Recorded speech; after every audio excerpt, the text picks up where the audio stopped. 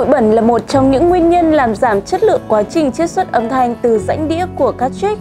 Vì thế, việc làm sạch đĩa than ngày càng được nhiều người dùng quan tâm và đầu tư.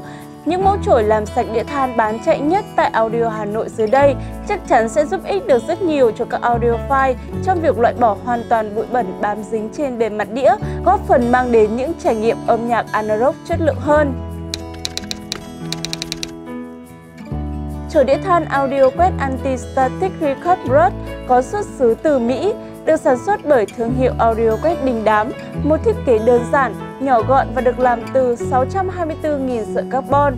Chổi đĩa than này sẽ nhẹ nhàng chạm vào rãnh đĩa, hút bụi bẩn, trả lại một sự sạch sẽ bóng loáng cho bề mặt đĩa than.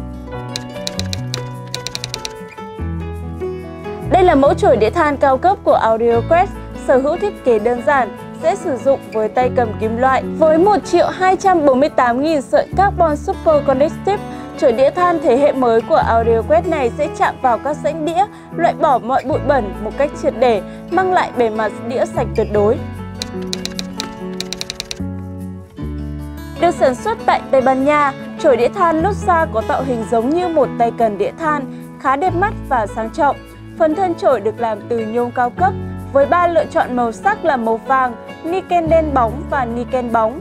Phần chổi làm từ sợi vật liệu mảnh, chụm lại với nhau, được cố định một đầu, có khả năng loại bỏ tĩnh điện khỏi rãnh đĩa và làm sạch mọi bụi bẩn bám trên bề mặt đĩa.